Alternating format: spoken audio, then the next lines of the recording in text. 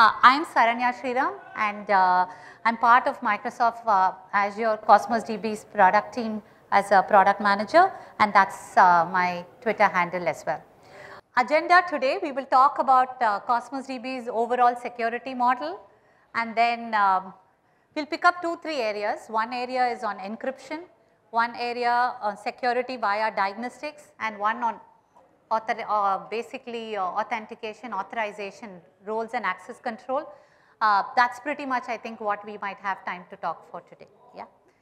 So um, today morning we spoke about Cosmos DB, not going to repeat that, but want to highlight that it is a ring zero service, globally distributed service.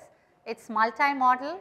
It has um, uh, a common storage engine, so to speak, but then able to expose in multiple APIs or multiple data structures. As you see, we have support to Cassandra, what we call the core SQL or NoSQL API. It's been rebranded to NoSQL API there. Supports third party APIs such as Mongo, Gremlin, and recently we announced uh, DSQL, distributed SQL that is sharded uh, Postgres as well uh, as part of the cloud native database. Uh, claim to fame, uh, the platform offers uh, single millisecond read and potentially write latencies for point reads writes at P99 at extremely large scale where you can uh, separate or segregate storage while transactions throughput or operations that you want to do. So, we saw this as well in the morning uh, primarily to highlight about operational needs of today's uh, databases, data stores needing both batch and streaming with real-time indexing. Uh, they say operational analytics support, uh, developer friendly, NoSQL uh, APIs that we say here, zero downtime, elastic scaling and all of these things. And we spoke in detail this morning. So hopefully we have an idea of what Cosmos DB is. Otherwise there are sessions earlier this morning and yesterday specifically for developers. So that's something that we can go and take a look at. So to a question that we had right now, we were talking about your security uh, is core to every organization, every developer. And the security is built upon for example what Cosmos DB as a service or a database service can provide. And its hosting provider which is the Azure, what is the service that Azure security can provide and finally, the Azure is also set up in physical data centers. So, what does Microsoft security framework can provide as well. So, starting from top down, right, when we look at Microsoft data center, there is a very detailed data center security overview and I have put the link there. This is not the core topic of today's discussion, so we won't go into data center security. But then uh, there is uh, a clear guidelines in terms of how should um, uh, racks of hardware be, brought into data center, who should be having access to it. Just as in um, software we talk of DMZ zones when you create architectures, uh, here you have physical demilitarized zones where certain vendors are allowed access in, certain vendors are not allowed. So how do you even move goods across data center? How is cooling? And what is kind of uh, the measure or ARPUs of measuring security benchmark. A lot of those things are mentioned here. So, we can take a look at that. And compliance forms a very, very critical part of security because each of these like ISO 9001 will come with its own benchmark of security components and will also say that every 3 months you need to revalidate or every 6 months depending on each of those compliance certification that uh, the Microsoft data center has to apply and then get certified. And as data centers apply, even per service like the storage services, compute services, Cosmos DB service, each service has to apply for certain of these. Some of these will ISO 9001 will have couple of things for Azure data center, will have couple of things for each of the platform services also. So, want to highlight that Microsoft takes this very, very uh, uh, specifically and then there are certain other compliance like HIPAA is for healthcare, right? And then uh, there is uh, uh, SOC 1, SOC 2 is primarily for fintech or finance. So there are some compliance which is very uh, industry aligned also. So that's something that we need to do. And then this was about Azure data center. Let's go one level lower and talk of Azure security generally when you're talking about how do we build systems and what are the things that we take care of. Very, very crowded slide, but again I'm going to go very fast here uh, because uh, one is about proactively as we build uh, products, pla platform services, what kind of SDLC processes we need to do. Uh, we have, we follow something called uh, CTLs that is continuous testing uh, libraries that provide right from integration testing, end-to-end -end testing, then stress testing, component testing, white box testing. So, there is a bunch of testing things that we need to do as part of regular rigor, right. So, that is one. And then uh, even access within Microsoft developers who has access to certain production machines, not machines. There are a bunch of these things. How can you make uh, uh, access to production environments? How can you actually commit changes? There are a bunch of those that are monitored. All of these are actually at an Azure security wide component which is available. Even when we do deployments, entire Azure regions are divided into batches of you know 1, 2, 3, 4 each couple of data centers are in one batch and the way we roll our security is for 5% of our workloads, 7%, 20%. So, we actually go through a phased approach on our production deployments. Any deployment on Azure holistically will take uh, minimum, I am not even saying maximum, minimum 8 to 12 weeks for it to go to the deployment. So, our deployments are still pretty long not very uh, less that is mainly because of the security constraints that we work around right. The bunch of downtimes outages you would have seen in Azure outage uh, pages which are related to certificates expiring or particular passwords or secrets not available. So, that is also a part of the core uh, system from our side. Just as I said we also uh, regenerate all our secrets and our certificates and roll over at uh, regular cadence etc. So with this we will move to the topic of today's discussion which is what are we here to discuss about Cosmos DB specifically and how are we ensuring security say by design. Across, there are various pieces we will be talking about few more than the others as I said but to kind of give you an extended layer cake kind of a view you will see for example um, uh, network security basis of how what all we, we have come a long way. At some point we just had VNet. In fact, we didn't even have virtual network support many years when we launched it. So, we are making strides and ways towards this uh, and then cross origin, uh, cross resource origin, cross origin resource sharing, CORS support is definitely important. We support that. Uh, author, authorization, authentication components, uh, global replication security checks you would have heard of these people uh, who are using Cosmos DB. How many of you have used Cosmos DB here? A few of you, okay, great. Uh, would have actually come across this global replication with LSN, which is basically what is the state of consistency and which is the last committed transactions and how do we identify that, right. So, kind of global replication trying to uh, follow the right kind of standards based on the consistency they choose, backups, and then monitoring for attacks both using our telemetry, client side telemetry, diagnostics and troubleshooting. That is another piece. And then of course uh, encryption both at rest. And then client side encryption with always uh, encrypted from you know the data which is even being sent over the wire to Azure data center and Cosmos DB, how can we ensure that it is encrypted. So, even Microsoft has no idea or we do not even know what your data can be like. So, that was that. Uh, let us keep going and then, uh, so first we are going to talk about, I said couple of, uh, if you look, if you remember the agenda, we will just talk about three pieces of the security components. We will talk about network, we will talk about um, um, encryption, we will talk a little bit about um, authorization uh, components, etc. Right? Network, we have come a long way, we started. Many of these are slightly repetitive with other Azure services and we specifically brought it in because one to say Cosmos DB is on par with other Azure services, but also that these are very important, right? When we are looking uh, for uh, things like uh, customizable firewalls, bringing things in VNet, service endpoints, service link, private link.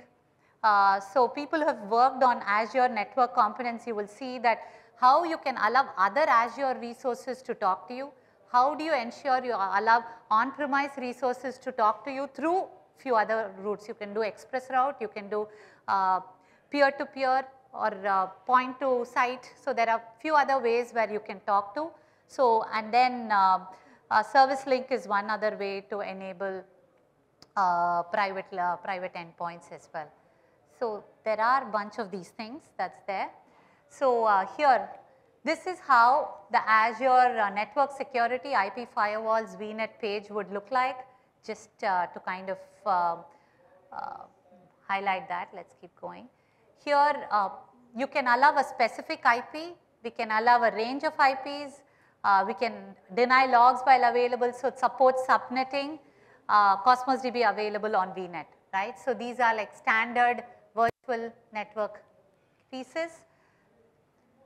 So, what is service endpoint? Allow Cosmos DB account in a VNet and restricts account only from that VNet and to be used by uh, so if you, you can allow service endpoint to say that I want to have certain public IPs to have access to my account only.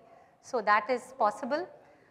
Uh, private endpoints restricts account only to either a particular VNet or assigns private IP to a VNet. So, these are things that we can do on Cosmos DB's virtual network as well. Right. So, in terms of picture from on-premise you can have an Azure private link that enables an on-premise IP to be part of a virtual network on the customer's VNet and then this private endpoint is now because it is part of this virtual network can actually talk to all the components in that VNet. So, if Cosmos DB is part of this virtual network and it supports this and it has the capability to support private endpoints, then you can connect to on-premise components via private link. So, that is how the uh, figurative picture will look like, right. Uh, course we can uh, set that up on our settings. This is the Cosmos DB page. There is uh, uh, uh, specific ways where you can allow your origins and then we will allow support to that etc. Let us go over to certain other pieces. Interest of time I think there are more things that we can see. on the authorization and authentication pieces right. Cosmos DB supports two, two sites. One is uh, role-based access control using Azure Active Directory uh, and also originally the way we launched it even before we had RBAC support was using master keys and resource tokens to access the data. So, those are the main things. Also we need to know when we talk of Cosmos DB access or any Azure you might have heard that there are primarily uh, uh, from the customer point of view, you can look at it, but also in the implementation point of view, there are two kinds of operations that we can allow. One we call as um, control plane or the operations that are needed to uh, set up your systems like create a database, create a collection, set a particular RU, give access to someone. A lot of these are management tasks or what we call as control plane operations.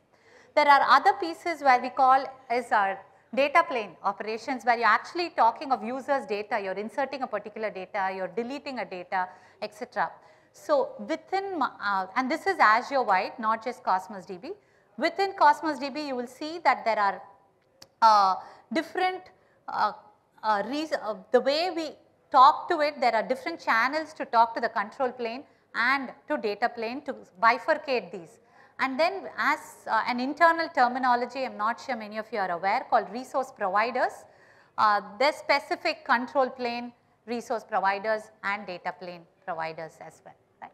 So, with that, with that, uh, with that introduction, I wanted to kind of highlight. So, when you talk of authorization, see I, once you are authenticated, now you have to be authorized to the level of access that you want to be hey, I want to give you read access, write access contributor only for a specific amount of time or a uh, different kind only for a certain uh, collection or certain kinds of constraints within the collection so on and so forth. So, within that if you kind of see there are as we say control plane versus data plane role based access control. Right?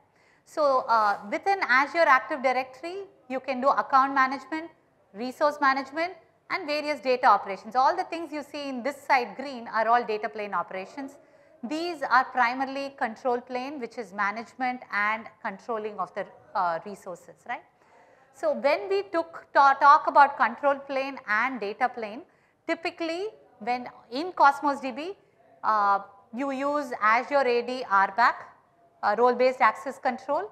Just as you would have seen in other sessions, you can go to Azure, it is a very standardized tool set, you will see IAM, Identity and Access Management, uh, wherein you can go set up rules and then you have access to your Cosmos DB accounts accordingly. For data plane, in addition to RBAC, we also today allow, uh, for example, uh, master key and uh, resource tokens that is available. Uh, so, so essentially when you look at identity based authorization, you, you, uh, you will have to first get authenticated and this authentication is using STS like a security token service that could be any external service, it could be Microsoft account, Google account, any account. So, once you get uh, authenticated to that account then you come to authorization. For this authorization you will go to uh, identity provider like Azure AD to identify your level of authorization and then you kind of have those access rights in control plane and your data plane operations. So, those are the pictures that I said. Uh, it is pretty straightforward. You have it here in your portal, you go and search, you provide the whatever level of access that you want to provide and in Azure, since we use Azure Active Directory, it is fully linked to Azure AD.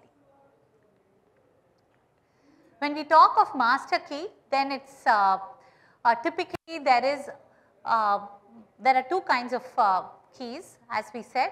Uh, there is a primary key and a secondary key. So, uh, typically there are again read write keys or read only keys. So, you will provide those keys uh, in your applications to access and then you would have access to those. Right?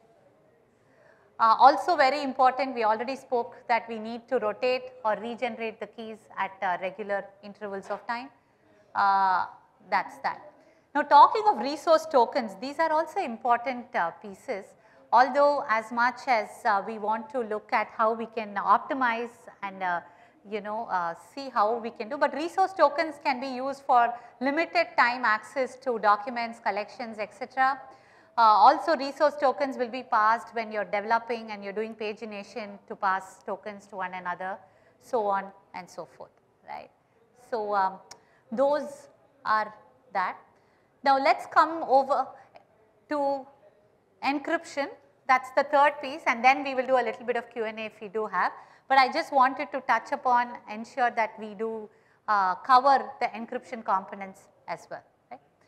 In Cosmos DB when we say encryption today uh, we have come a long way actually. Today we support uh, in general availability service managed keys, customer managed keys and client side encryption as well.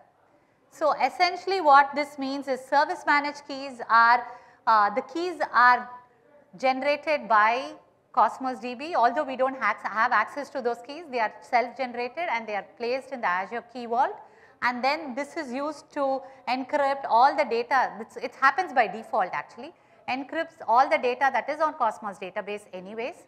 Uh, so, uh, if uh, and this is data at rest essentially right.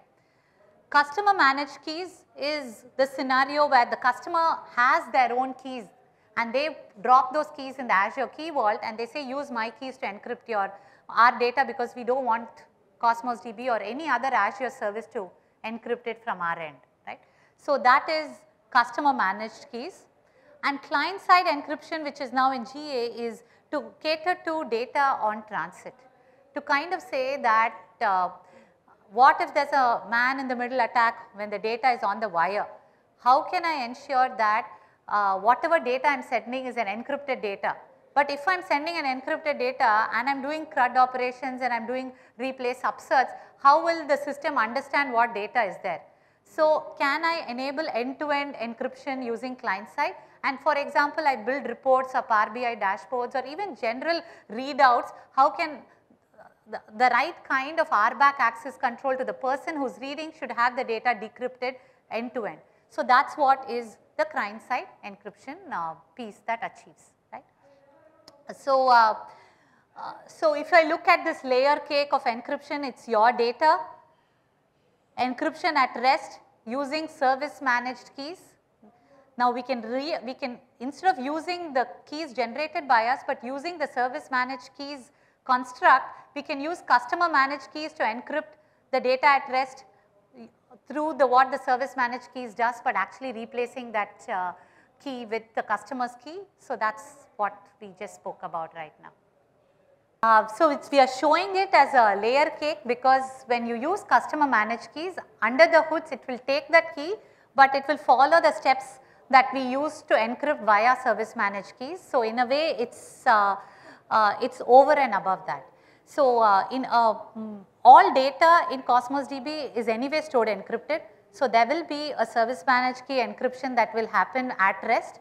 Over and above that the customer managed key will take and use the service managed key steps to re-encrypt that. Let us uh, try to see uh, a short uh, demo that we have recorded here. So what you will see in this demo is a couple of things that you probably will not uh, use day to day. Uh, you will see just use um, in Cosmos DB to check diagnostics, to check how the progress of your for example backup restore or if you are accessing how many requests are hitting, what are the client side diagnostics, which IP addresses are coming to request, all of that you can see using diagnostic logs. So in Cosmos DB typically what you uh, customers typically do is they will go and enable diagnostic logs separately. Now we, this triggers a RPI. So uh, that's what uh, they do, they do diagnostic logs. Now uh, the same dogs we can see it on our side as well and uh, you would have heard this Kusto uh, kind of a way where you can query and look at the backend data. So here what we will be showing is when we do customer managed keys, whether those keys are encrypted or not, we will just be directly querying and checking uh, because that is the only way we can uh, definitively say that whether those data items have been um, encrypted or not encrypted. So let us take a look at this and then we can talk a little bit about that. So we have a database account ready with us and we are going to trigger user workload along with CMK to model prod behavior. So here we are catering five collections and we are constantly pumping data into it. And while this takes place, we are also going to give our Azure Cosmos DB update call to enable CMK. We have passed in the key vault URI for our enablement. Now we, this triggers a RP action which queues the workflow. Now when this workflow is dequeued for execution, we can, uh, a couple of steps, steps take place. Some CMK related configs are being set and a put call is sent to all the collections. Now this workflow waits for encryption to complete from all the replicas. Since this will take some time to complete, we can go over some previous logs uh, from a similar run we have ready with us.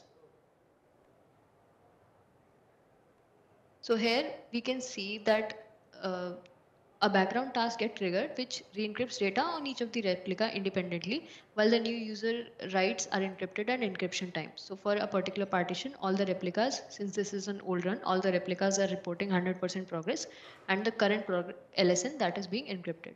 Similarly, all the collections, five collections are reporting 100% progress. Now, when we go over through the management workflow logs, we can see that initially all the replicas are reporting encryption set as false and at the end they start reporting encryption set as true. Now since all the replicas for a particular partition is are reporting it uh, encryption completed, uh, encryption is completed for all the partitions similarly and one flow can be set as completed. In this way, uh, our update call will uh, be set as completed and the status would be set as succeed. So this was a really quick uh, demo to show that you can enable customer managed keys on existing collections or existing uh, systems as well. Uh, why is this interesting? Because you have, there are already existing collections which are 4 node replica with multiple uh, regions etc. and we want this to be replicated across regions. So when we enable service managed keys as you see today it is available using CLI which is command line interface tool. So you will go Go to Azure Key Vault is a way where you can store your managed keys. So you would set up, uh, point your key link there and then you will say uh, enable.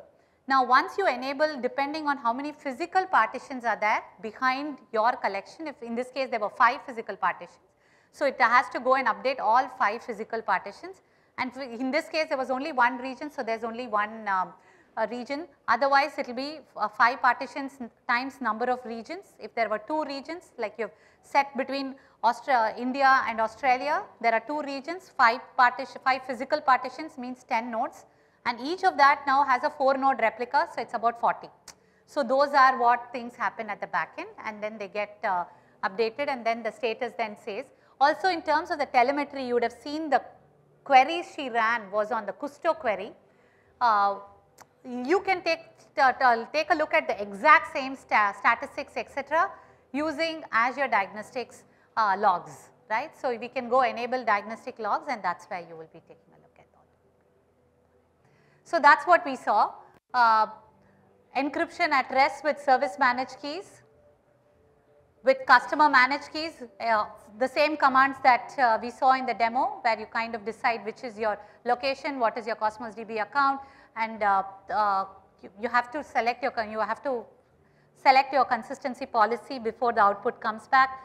Uh, and this is all in time, huh? there is no downtime in your application. This is for existing collection. So your collection is active, uh, probably stress tested with high workloads which is coming in and out and this happens seamlessly at the back end when you are initiating that. And once you have customer managed keys going forward you will always have your keys set up for you. So, uh, the last segment of today is uh, the security via our diagnostics. That means uh, what is it that uh, customers, developers how they can take a look at uh, you know any sort of sec uh, security diagnostic components. There is actually quite a bit there. Again we will be touching just a couple of areas. But if you look at Cosmos DB's monitoring landscape, there is one server side monitoring available either using Azure portal or using Azure monitor which is the metrics which is free. Azure monitor using diagnostics logs which is free. So, this comes for about 4 weeks or 30 days of free data that is available. And beyond that you can actually contain as much as you want, you have to enable diagnostic logs as I said, you have to uh, go to diagnostic settings and then enable diagnostic logs and it will be pushed into your log analytics and you can see it via the Azure log analytics there, right. So that is a couple of ways and then you can also take a look at it programmatically with the SDKs as well. Right. On client side, you can capture server response, you can capture client side diagnostic logs which is very, very rich from our side. Uh, uh, in fact, uh, very detailed troubleshooting we tend to do using client side log, uh, diagnostic logs. So, that part is pretty clear and then also using API management as well. So, uh, when we look at Azure portal, there are a bunch of things that comes out outside of the box, the throughput, availability, latency, storage, consistencies, system setup, etc. Azure Monitor again gives you all of this, but also gives you a bunch of uh, data plane operations like uh, you know total number of requests, uh, server side latencies on those requests, etc. Logs also as I said gives you uh, activity logs and diagnostic logs etc. On the client side, it is extremely detailed available. Now, when you want to monitor for attacks, like specifically you are looking for monitoring for attack, you want to look at Azure audit logging, uh, you want to look at uh, full text query. This is one thing when you look uh, for Cosmos DB since a lot of this is with the users, if you do want uh, to log what is the shape of your queries that you are running, so that you kind of know which query is maybe uh, too high or there is any malicious queries or any extremely expensive queries that need to be optimized. If you want the exact shape of the query of which is the, uh, what are the parameters and what does your query look like, we will need to enable uh, full text query logging uh, which uh, you can do as a self-serve directly on the portal, but that will also help. There are a bunch of query, uh, for example, error codes and each of them come with their own uh, stories for server side and client side. It is not a bad idea to kind of look at what kind of error codes you are getting, uh, that is going to be trivial. Uh, but the most important thing in, uh, in anything I would say not just for Cosmos DB deploying a end-to-end solution is only half of your work done, right? The remaining half of your work is being able to first ensure security being set up and then monitoring and troubleshooting for optimization and potential security hack. Uh, so that uh, is uh, something that we want to call out. And then things uh, I just wanted to kind of highlight 401 unauthorized, 403 access denied, 404 itself can have a bunch of sub statuses. Some things to keep in mind when you are looking at Cosmos DB's metrics, uh, diagnostic logs and also activity log. You can identify actually from which IP address a particular request came from or which query uh, came from and which role it came from, what are the VNets, what. So, you, we do have certain uh, parameters that we can take a look at. Uh, so, this was what we spoke about before. If you want to retain all of this for a longer period of time before purging, we can take that data and uh, directly move it to Azure Log Analytics from which you can query uh, using the kind of query you saw on the demo, etc. Uh, this was an example. For example, uh, um, it is not very clear uh, in this screen, maybe in the small screens it will be, but it kind of uh, uh, gives you details as to, you know, which IP address, what timestamps, who is the username. So, it kind of gives you those details while accessing. This is the activity log we are talking about. Uh, we are also trying to work uh, as we speak on potential threat detections as well. There are certain things that we have in place, but uh, like the ability to have advanced algorithm. Uh, we do have alerting today in particular cases. You can set alerts, alerts on cost, alerts on requests, alerts on uh, So, this part of it is uh, available to some extent, but then enabling stronger threat detection is something that will come through as we speak about. Uh, so with this, uh, we are almost uh, closed in today's session. I'll just end by saying uh, uh, security communication. I just wanted to close this session more as what can you take back as, uh, you know, as developers from this session. We spoke a lot from Cosmos DB side of things, but then the, are there any best practices that each of us can take back in your respective companies like ability for you to timely say whether there was a breach error, target or find who are the affected customers and actionable outcomes that you want to work through that. So, uh, there are certain uh, things that we follow and as I said, uh, uh you know the blast radius and ability for us to phase our deployments proactively and having rings of deployment and identifying across say from support teams to impacted folks and publishing, targeting how you have uh, issues, having a service dashboard. These are things that I think all companies today are starting to build on their own as well. Like, you know, not depending 100% on the vendor, but also having to have these self-serve uh, tools as we speak about. So, we have that for Azure, but we also uh, hoping that uh, it's going to be there for others as well. Some resources and uh, there are most of these are very detailed uh, documentation about certain aspects that we spoke about. So, these texts uh, will be available. Thank you everyone.